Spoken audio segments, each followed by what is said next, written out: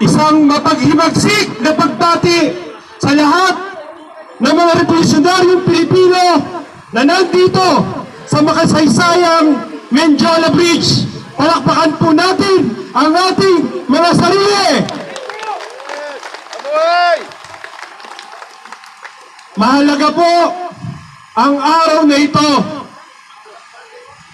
sapagkat milyong Pilipino ang dumugo ang kanilang mga puso nang simulan ang Peking Revolusyon sa EDSA.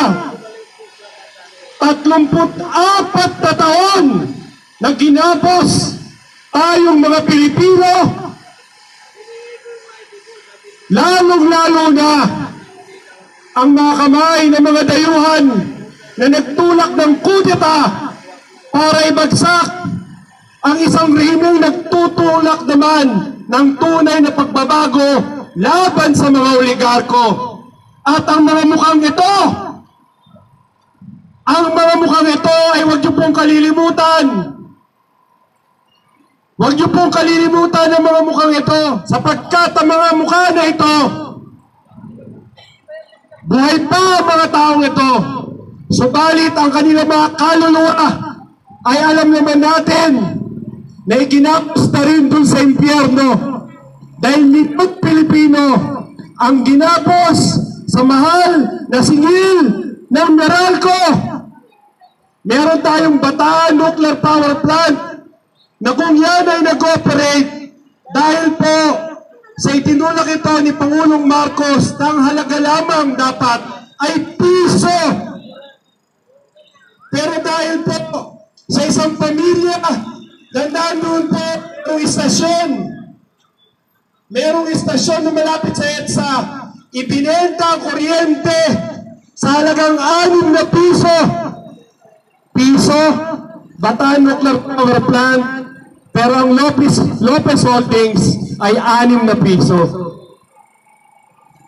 Yan po ay simula ng pag-abuso, paghahasa ng tunay na intensyon ng peking kudita na inulunsad ng mga peking militar na nakipagsabwatan dito sa mga oligakong ito na nagpondo ng peking revolusyon na yan.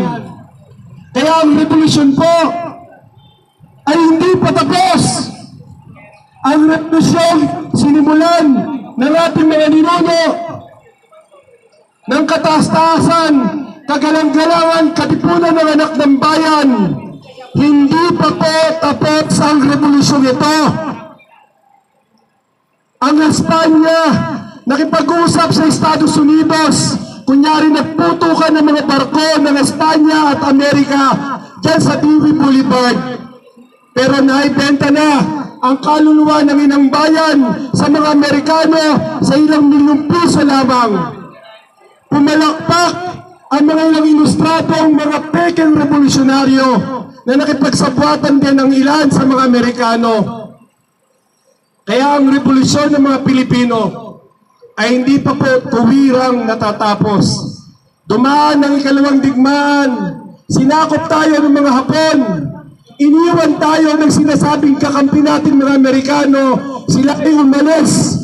Karamihan ay nagpunta dun sa Australia at sinabi bandang huli, I shall return. Nung malapit na na mapalaya ng hukbong bayan laban sa atin, mga gerilya na mga Pilipino nagbuwis sa kanilang buhay laban sa mga pasistang mga Hapones noong mga panahon na yon. Napakaraming mga nagbuwis ng buhay ng mga kabataan, hindi lamang po sa gitnang Luzon, kundi sa buong bansa noong ikalawang digmaan. Muling bumalik ang mga Amerikano, tanga na kanilang pangako na tutulungan muli ang mga Pilipino. Ano ang nangyari? Iginapos tayo sa isang daang taong kontrata ng military basis agreement. Buti na lang, merong isang Ferdinand Marcos na sinabi, hindi pwede ang isang daang taon, limampung taon. At kung kinakailang pa-claim pa, at dapat kayo mga Amerikano ay magbayad ng renta dyan sa Clark Air Base, dyan sa Subic Base, at yung sinara po dito sa Cavite. Subalit ano ang nangyari? dahil hindi sumusunod sa patakaran at dikta ng Estados Unidos ang isang gobyerno sa pamumuno ni Pangulong Marcos noon, ang World Bank at International Monetary Fund ay tumira ng sunod-sunod na devaluasyon na nagkaroon ng matinding epekto sa ating ekonomiya. At bago po mag-1986 Revolution, simula 1981 hanggang 1986, sunod-sunod na po ang destabilisasyong naganap. At dahil sa mga taong ito, marahil sa ilan dito ay mga magulang nila, ay mga nakipagsabwatan doon sa mga mahilig magsuot ng mga kulay dilaw na sinasabing ibabalik daw ang demokrasya makalipas sa bagsak ang isang diktador na rehimen. Iba ang naramdaman ng taong bayan. 34 years tayong ginapos ng Meralco, ng Maynilad, ng Manila Water. Ngayon, meron prime water, anim na patatlo, 63 na mga probinsya na kontrolado na ng mga bilyar. At kumakatok pa sila rito sa Metro Manila habang binibira ni Pangulong Rodrigo Duterte ang usapin ng sabratan sa Maynila at Manila Water. May bagong muka na kumakatok din. Sino po yun? Ito po siya. Huwag niyong kalilimutan ang pagmumukha ng taong ito. Siya po si Enrique Rason. Binili na niya po ang Wawa Dam. Kayo ng mga nandito, nagbayad kayo sa inyong water bill sa Maynila at Manila Water. Bahagi dyan ay 800 milyong piso para gawin ng Wawa Dam. Pero wa yung dam. Wa yung dam. Kumulekta lang. Sinigil lang si nanay, si tatay, si ate, si kuya at mga OFW natin. Buwan-buwan sinisingil. Pero wa yung dam. Ano ang ginawa? Noong nakaraang taon, umenta ang mamang ito. Binili ang Wawa Dam. Nakipagkutsabahan sa Manila Water sa mga Ayala. Ibibenta ang Wawa Dam sa ating mga taga Metro Manila para masuplayan daw doon sa pupugak-pugak na supply ng tubig. Marahil ang iba sa inyo ay hindi pa naligo ngayon. Alam nyo na kung bakit. Dahil rasyon ang tubig sa sentro ng pampulitikang kapangyarihan ng, ng Metro Manila. Just imagine, Metro Manila, sinabi po ni Pangulong Marcos noon, tanggalin na ang nawasa. Nawasak na ang nawasa. Pinalitan ng MWSS 1972 pa. Sinimulan po ang Laibandan Project 1979 pa. Dahil nakikita na po ni Pangulong Marcos, lolobo ang populasyon ng Metro Manila. Dadami ang mga Pilipinong titira sa, sa Metro Manila. Kaya itinatag ang Metropolitan Water Works and Sewerage System. Subalit, dahil kay Cory Aquino, ang mga patakarang privatisasyon, ang lahat ng mga public utilities, kasama si Tabako na patalon-talon pa sa EDSA, patalon-talon pa siya para raw ipagdiwang ang demokrasya. Ang totoong demokrasya ay kung kayo po sa mga oras na ito ay may kakayahang bumili may kakayahang makapagpaaral ng ating mga anak. Pero anong ating ginagawa? Ano ang nangyari sa atin? Hirap tayo. Ginapang natin ang ating mga anak para lamang sila mapag-aral. Dahil sa sobrang mahal po ng mga public utilities na ito, napakamahal po. Kada daan mo sa Pitplex, kada daan mo sa NLEX, kada daan mo sa Capitex, kada daan mo dyan sa mga toll roads na yan, napakalaki ng tong pots ng mga walang hiyang oligarko na ito.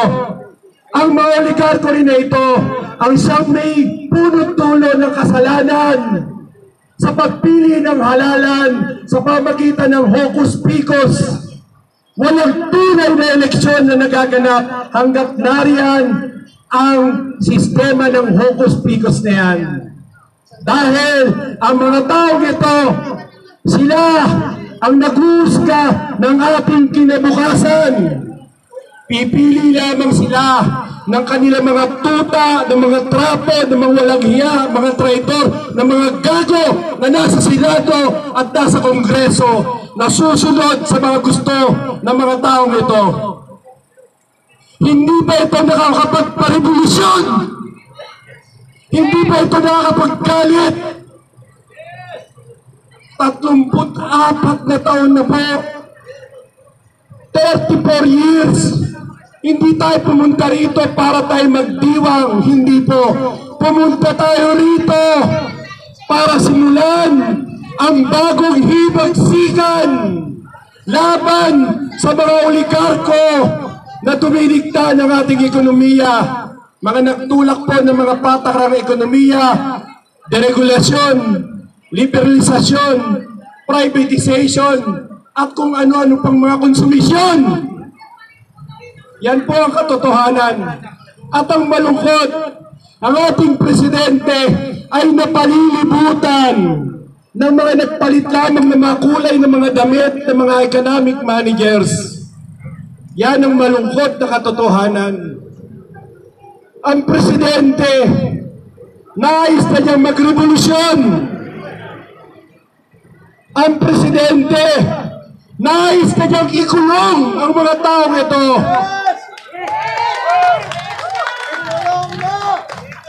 Kaya tayo nandito mga kasama.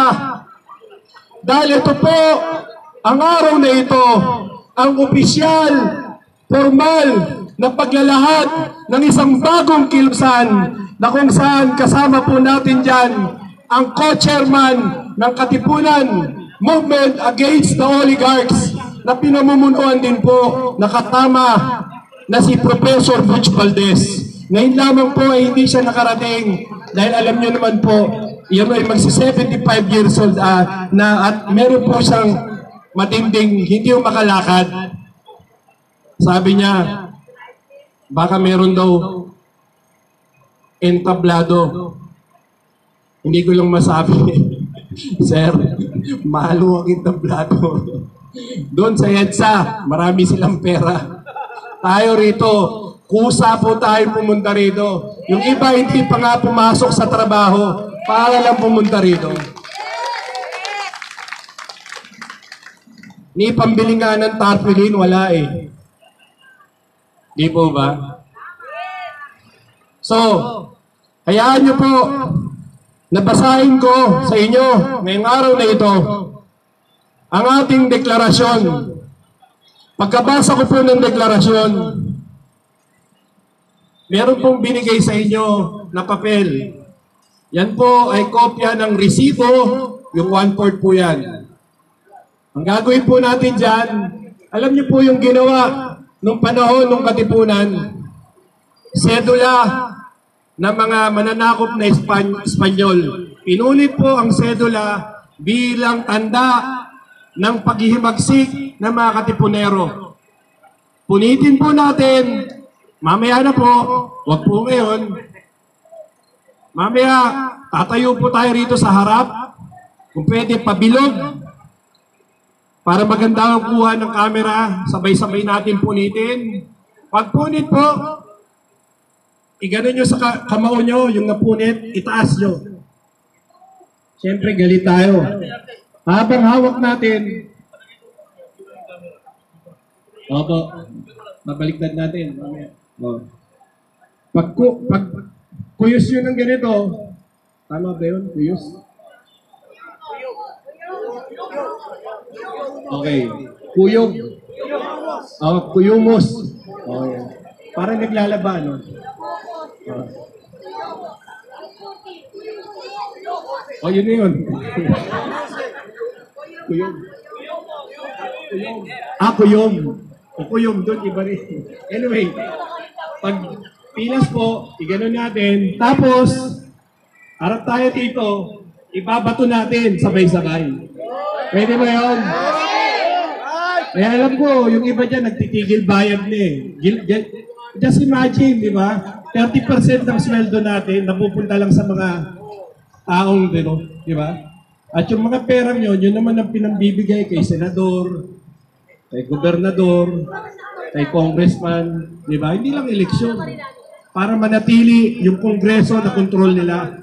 Na kunyari, dapat daw lahat ng proseso ay idaan sa kongreso. Eh ngayon nga lamang eh, may mga kakapal na mukha ng congressman doon para maiwasan po yung takeover ng Maynilad Manila Water at iba pang mga facilities. Eh gusto nila magkaroon ng 100% ownership ang mga dayuhan. Gusto nyo ba yun? Kung ako tatanungin, dapat buwagin na yan. Kung ganyan din ang asal ng mga yan, buwagin na. At magtatak tayo ng isang tunay na kongreso ng mamamayan. Hindi yung kongreso ng mga trapo at oligarko.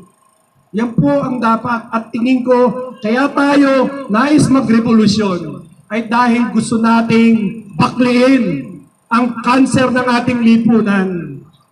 Mapalitan man ng mga muka ng mga presidente kung ang sistema na ito ay siyang iiral. Baliwala. Kaya kinakailangan baklasin ang bulok na sistema na yan. Privatisasyon, deregulation, importabilization, devaluation. Ayan. No? Yung mang, manggagawang to, galit na galit eh, di ba? Eh, totoo naman yun. ABS-CPA lang, ilan ba contractual dyan? May ibang usapan pa yun. Anyway, so, nakuha na po natin. Game na po ba kayo? Game na? O, sige. Babasahin ko muna to. Ganito po gawin natin. Habang binabasa ko po ito, pwede ba kayong lumapit? Eh, pasensya na ho, wala tayong lamesa. Pwede kayong pumirma dyan. Ilahin mo pa ganun. Oo. Pumila po kayo. Tapos, yung mga tulong-tulong nila sa pagkuha ng camera para may share natin. Itong deklarasyon, babasahin ko po. Ha? Okay po. O, sige po. Pwede na po. Pwede na kayo lumapit. O. Dalawang libo, dalawampu. Pagpapahayag ng kasarinlan ng Pilipinas. Kami ang nakapangyyaring mamamayan ng Republika ng Pilipinas makaraang dumanas at nagtiis ng mahabang panahon ng pinataw na kahirapan at dahil sa isinatlak na dusa, dalita at kadalasan, pati na kamatayan ay patuloy nananalig sa kabayanihan ng ginagawang halimbawa isinabuhay at inialay ng mga makabayan ng hibagsikan ng Pilipinas 1896. Sila ay nagbuwis ng buhay upang itindig ang mga sagradong kalagahan ng kalayaan na patuloy nating pinaninindigan. Ngayon ay nagahayag ng aming kasarinlan mula sa mga kapanihil na lokal at dayuhang mga sariling mga interes na taasang tumitibag sa buod ng ating soberenya na nakadat, nakadatampana sa mga banal na simulain ng ating saligang batas. Narito, mataas ang naninindigan sa halayan. Sa mga ginagawa malipin ang bansa sa pamamagitan ng mga pagibang nakasunduan na mensyadong sigalot. Sumasaan sa ating mga karapatan na makipag-ugnayan sa ating bansa at nagbubunga ng tensyon sa ating rehiyon at sa iba pang panig ng daigdig. Kalangan! sa mga taksil na sapwatan ng mga oportunista na nakikipagkutsaba sa mga pinuno ng gobyerno upang pagkamin at angkinin ang mga babayang serbisyo publiko na karapatang nakalaan sa taong bayan tulad ng sa tubig, enerhiya, pangangalagang kalusugan, telekomunikasyon at pampublikong transportasyon.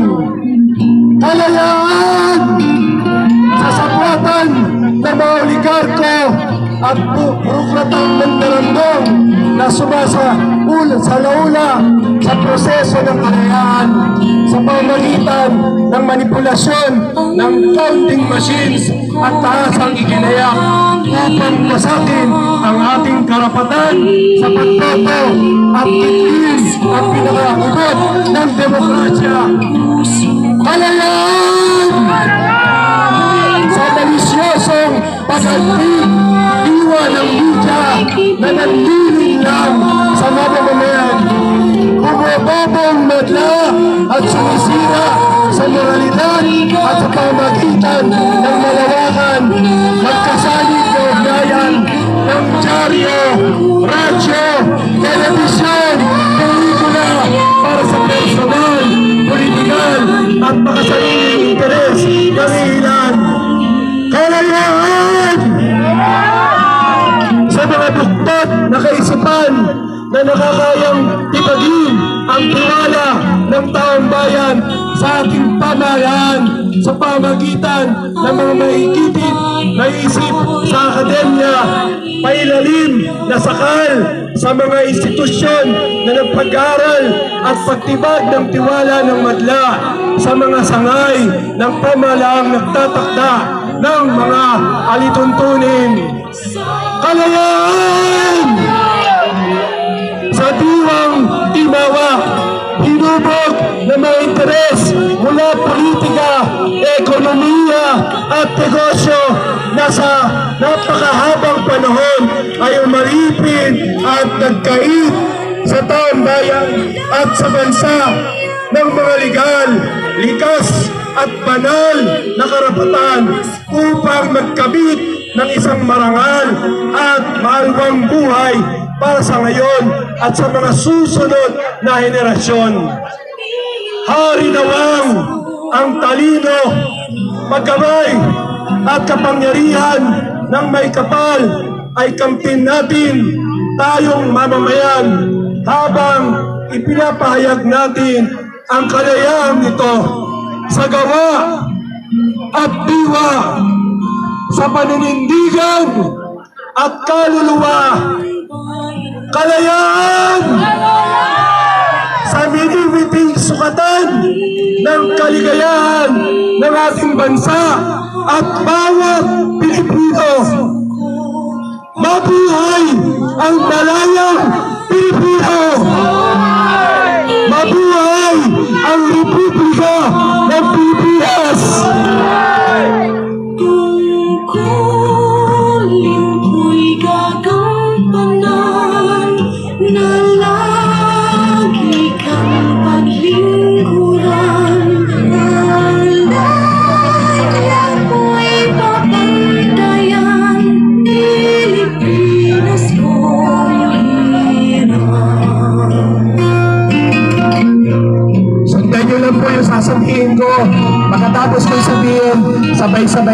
Sabay-sabay nating isigaw ng malakas. Sambayanan! Sambayanan! Hindi pa tapos ang laban mo! Hindi pa tapos ang laban mo! Revolusyon! Revolusyon! Isulo mo! Mabuhay ang Pilipinas! Ihanda na po yung mga pambato natin. Ihanda na po. Ipakigilid lang po yan para doon na po magpirma muna. Ayan. Okay? Sabay-sabay po tayo. Ayan. Ito, huwag natin takpan. Ate, lapit ka. Ta- Taas yung bata siya. Ayan. Okay? Sir, batak, batak lang. Pakihingi lang. Ayan, okay. Kanilo, dito ka sa gitna. Kanilo. Sama kayo rito. Okay, ko muna. Okay. Mga kasama, handa na ba tayo magkibagsikan laban sa oligarko? Handa na ba kayo magrevolusyon? Revolusyon! Revolusyon!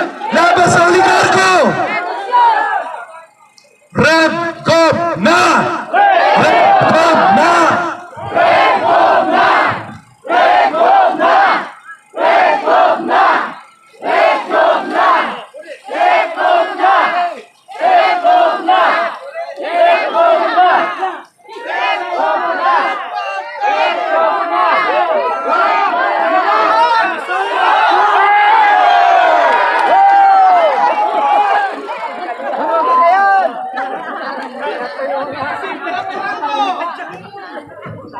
Yan po ang dahilan kung bakit tayo nagre-revolusyon.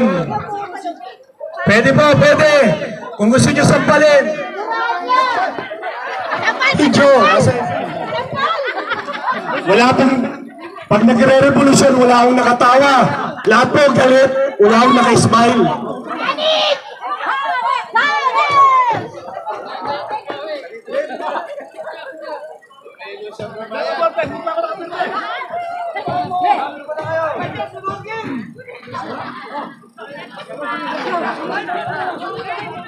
Mabuhay po kayong lahat.